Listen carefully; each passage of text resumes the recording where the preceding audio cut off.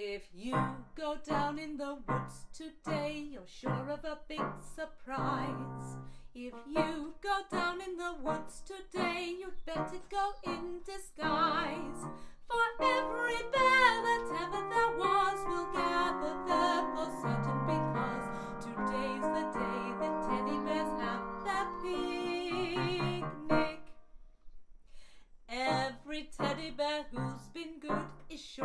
Treat today.